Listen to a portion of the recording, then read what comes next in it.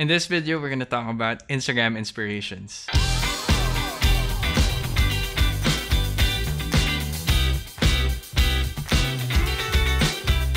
Today, we're gonna be talking about my top 3 favorite photographers who I follow over on Instagram.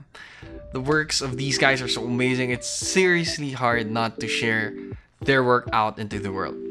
Let's start with number one. His name is Takashi Yasui.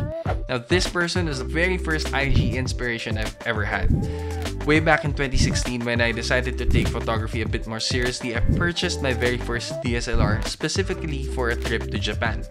Takashi Yasui is a Japanese photographer based in Japan, and so his photos are all about the everyday life in Japan. He takes photos of the street, of interesting architecture, he takes portraits, he takes still life, and his photos are so beautifully composed. But what strikes me the most is the way he edits them. I love the way that he composes his photos, and there's really something about the way he uses his colors that resonate with me. So, if you guys want to check him out, I leave a link to his Instagram account. His handle is underscore tuck4, T-U-C-K-4. But yeah, go check out the link, see more of his works, and see more about Japan. Now I miss Japan even more. Number two is Jilson Tiu.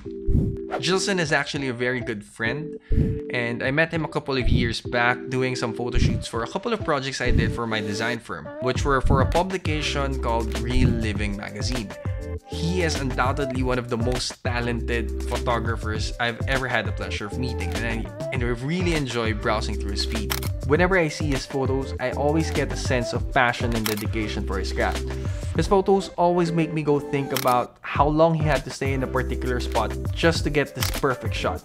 And when it rains, one of the first things I think about is Jilson is probably somewhere out there taking amazing photos. He has this knack for taking beautiful photos of water, of the rain, and they're really just so compelling to look at. His colors and composition are so distinct that sometimes when I'm browsing through an in-flight magazine or the newspaper, I kind of get the sense that it's Jilson's work which usually turns out to be correct. Jilson is the type of guy who, if there's a story, he's bound to be there. I try to learn as much as I can from his work, especially when it comes to street photography.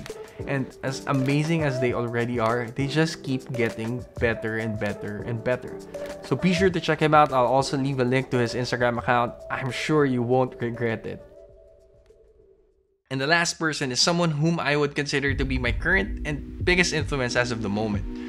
I don't know when and how it started, but one day I just decided to try and fix and curate my Instagram feed just so it looks more aesthetically pleasing. So I went into this phase where I tried to arrange my photos according to a color theme. And when I got to blue, that's when I discovered Pat Kay. Similarly, but also in a kind of different way, Pat Kay's work is so distinct and unique in their own way. In terms of colors, he has this certain way of working with blue tones.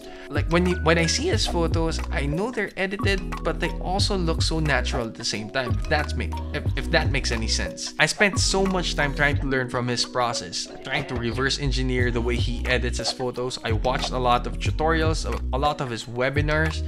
I even reached out to him on Instagram and he was very kind enough to give me some tips in return. I was so obsessed about the way he, he edits his photos, I even ended up buying some of his presets. His compositions are so deliberate, I'm completely amazed at how consistent they are. And aside from minimalistic, that's probably the word I would describe his work most. They're just so consistently blue, consistently sharp, and consistently minimalistic yeah, their works are the ones I really go back to and try to learn from as much as possible so that when we're out and when we're traveling, it's like I have this reference of thoughts and images that I like I connect between the works of these three guys. And so I hope you get to check them out, browse through their feeds, give them a follow, and if you like this video, please don't forget to hit like. If you want more of this kinds of stuff, then don't forget to subscribe. If you have questions, leave a comment. And I'll see you guys in the next video. Thanks for watching.